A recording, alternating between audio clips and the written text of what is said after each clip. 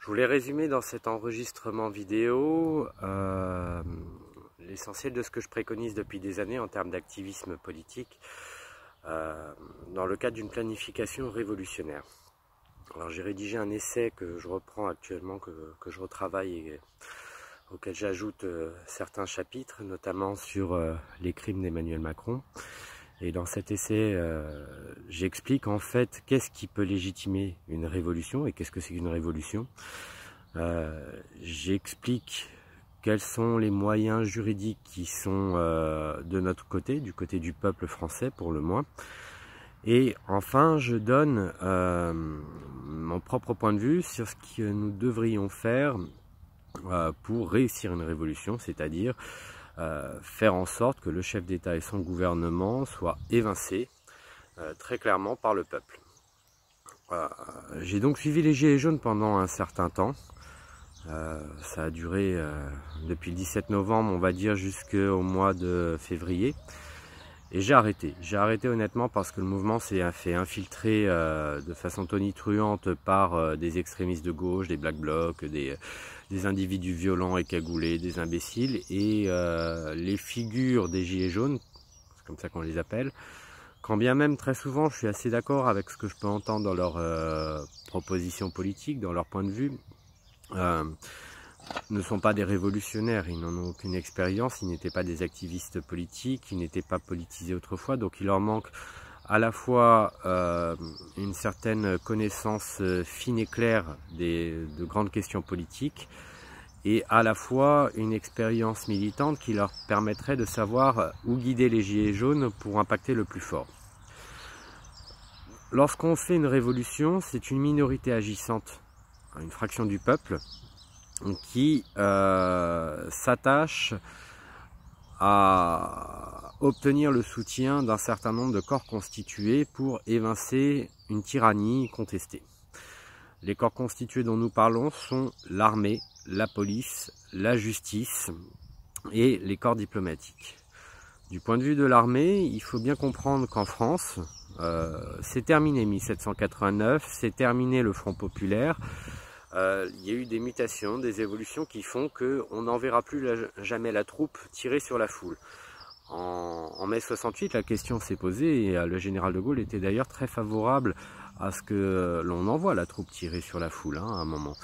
Euh, c'est son ministre Pierre Mesmer qui a dit non en fait, qui a dit, en fait il a fait exactement l'inverse, il a dit oui, pas de souci, moi je vous envoie les soldats, mais par contre je donnerai l'ordre d'ouverture du feu ce qui a à l'époque euh, effrayé euh, le Premier ministre Pompidou et euh, le général de Gaulle, qui finalement se sont rétractés. Et c'est comme ça que l'armée n'a pas été envoyée contre le peuple.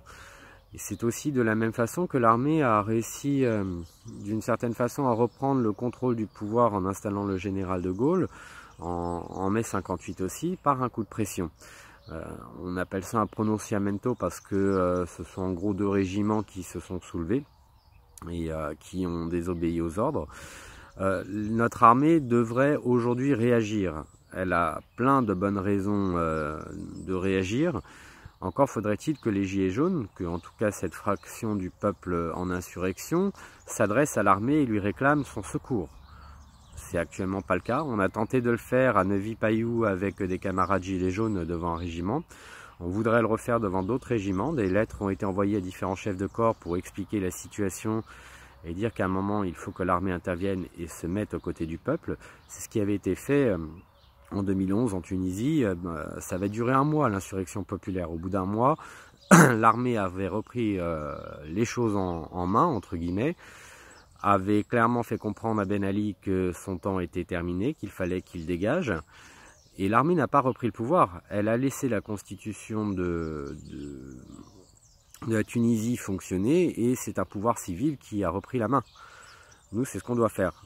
En cas de vacances de la présidence de la République, c'est le président du Sénat, Gérard Larcher actuellement, qui reprend la main. Par contre, on peut euh, lui euh, imposer un gouvernement révolutionnaire qui nous ressemble. On peut lui imposer un gouvernement qui est notre vision politique, qui sera là pour à la fois organiser les futures élections présidentielles euh, et législatives comme en dispose la Constitution, mais aussi toute une série de référendums sur un ensemble de sujets qui nous intéressent, comme par exemple le RIC, à la suite de ces élections. voilà ce que pourrait faire un gouvernement que l'on aurait plébiscité. Encore faut-il savoir comment on peut plébisciter un gouvernement qui nous représente assez fidèlement dans les idéaux. Ce sont des choses que j'explique lorsque j'ai l'occasion de me déplacer en conférence ou si vous cherchez un petit peu ce que je peux écrire. Il y a d'autres façons de se soulever contre l'oligarchie, de, clairement la faire trembler, c'est de s'attaquer à ses symboles. Euh, l'oligarchie défend de coûte que coûte l'Union Européenne et toute l'idéologie qui va avec. Elle est aidée pour cela d'un certain nombre d'instruments symboliques tels que euh, le drapeau européen ou encore euh, l'euro en, tant que, en tant que monnaie fiduciaire, en tant que papier. Et ces symboles peuvent être attaqués. Il suffit de décrocher les drapeaux européens, euh, il suffit de décrocher les drapeaux européens des, euh, supports où ils sont accrochés, notamment les, écoles publiques, les mairies. Euh, et depuis 2014, c'est plus de 1000 drapeaux européens qui ont été décrochés.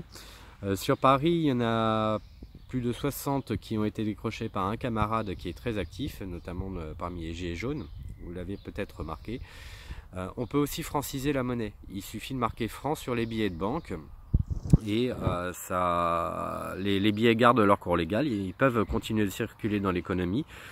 En revanche, c'est une façon pour le peuple de, faire, de démontrer qu'il est souverain sur sa monnaie, qu'il ne, reconnaît pas l'euro et euh, qu'il souverainement qu'il décide de reprendre le contrôle de sa monnaie.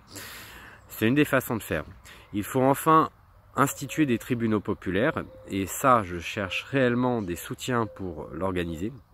C'est-à-dire qu'il faut juger Emmanuel Macron euh, pour les crimes qu'il a commis. Et ça n'est pas la justice ou le Parlement qui vont juger Emmanuel Macron. Logiquement, c'est le Parlement qui a les pouvoirs de le faire, et on voit bien que nous avons un Parlement aux ordres. Euh, la justice est euh, impuissante à s'auto-saisir et de toute façon complètement soumise constitutionnellement au pouvoir exécutif. Donc, qu'est-ce qu'il nous reste à faire? Monter des tribunaux d'exception. Alors, ces, tribunaux n'auraient pas de valeur contraignante. Ils sont là plutôt pour faire de la com.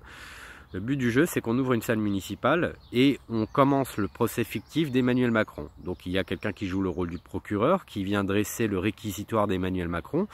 On pourra parler de l'affaire Alstom, on pourra parler de l'affaire syrienne notamment. Et euh, quelqu'un vient jouer le rôle de son avocat. Il va produire une défense honnête, réellement honnête.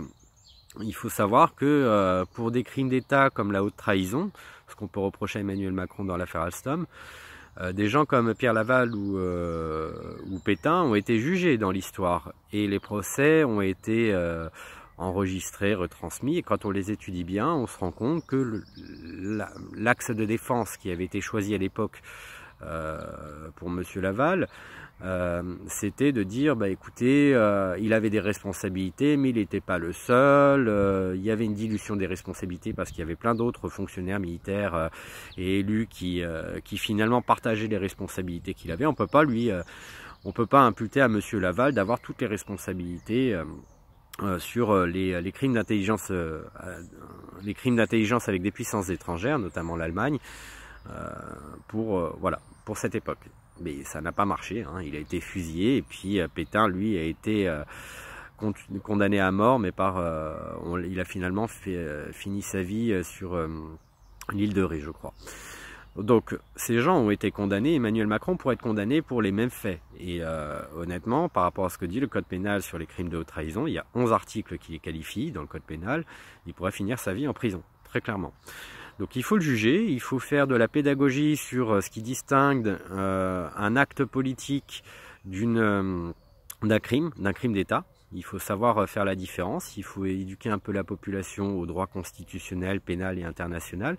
Et quoi de mieux que des procès fictifs où on jouerait sous forme, théâtralisée hein, le procès d'Emmanuel Macron pour euh, faire cette pédagogie. À la fin du procès, ben, en fait, euh, le juge, enfin la personne qui jouera le magistrat, apportera son point de vue et demandera à la salle, donc euh, des simples citoyens d'une commune qui sont venus assister à ce procès fictif dans la salle municipale, de bien vouloir voter la culpabilité ou non d'Emmanuel Macron. Cela évidemment sous les caméras des grands médias. Le but du jeu, c'est de frapper fort, c'est de, lui faire mal, de faire voir qu'il a beau être défendu par la presse, il a beau euh, avoir un parlement aux ordres, il a beau avoir des, euh, des magistrats qui ne sont pas indépendants et qui n'osent pas s'attaquer frontalement à lui. Il faut faire voir que le peuple reste prêt à l'attaquer, à être à l'offensive et qu'on n'est pas des imbéciles, qu'on s'intéresse à nos propres lois, à notre constitution, au droit international et qu'on a des choses à dire. Donc ça, c'est le projet le plus fort que je souhaiterais monter. Le réquisitoire d'Emmanuel Macron est déjà rédigé. Quelques arguments en défense ont déjà été euh, rédigés dans, une micro-plaidoirie euh, qu'un avocat a bien voulu nous, euh, enfin rédiger pour nous. Mais en fait, il s'agirait de, de, compléter ce travail d'écriture avec des vrais juristes et avocats. Et je cherche désespérément des avocats pour nous soutenir. Désolé, mes, messieurs, dames, les avocats, mais la plupart d'entre vous avez, enfin, être cupides. Euh, vous, euh, vous voulez bien défendre les gilets jaunes euh, gratuitement sur des questions de violence policière, c'est très bien, c'est très gentil à vous, mais pour nous aider dans notre combat révolutionnaire, politique, juridique contre la tyrannie en place, il n'y a personne. On a besoin de vous on a réellement besoin de vous. Donc je, relance mon appel à tous les avocats, magistrats, juristes qui peuvent nous aider, qui maîtrisent un peu le droit pénal constitutionnel et international. Venez, venez.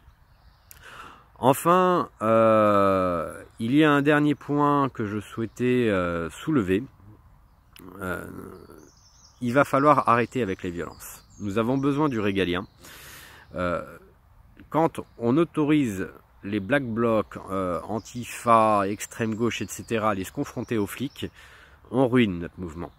Il va falloir clairement euh, la jouer fine avec la police nationale et la gendarmerie parce que c'est avec ces corps régaliens que l'on évacuera Macron. C'est pas sans eux, c'est pas contre eux, c'est avec eux.